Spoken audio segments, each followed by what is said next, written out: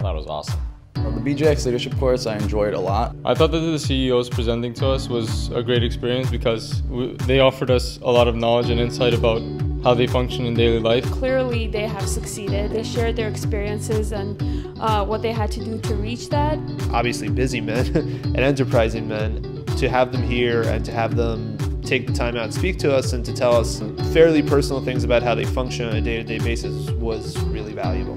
I kind of had this thought that the CEOs, just being so rich and successful, kind of it makes you act a different way. I had a different picture of them, but then when they came in, they were just very normal people and they were just more ambitious and they had a plan and they were more successful.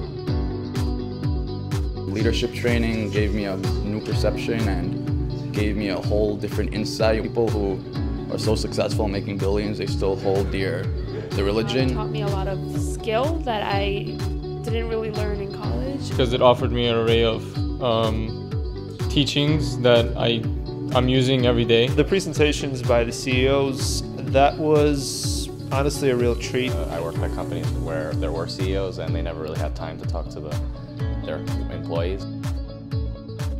The best part of this course was just real life lessons. The presentations from the CEOs were very insightful.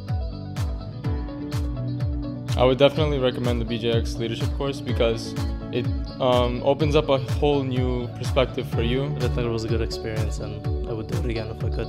I would definitely let my friends know about the BJX program. Oh, absolutely. The Jewish community be reignited, I think, through this program.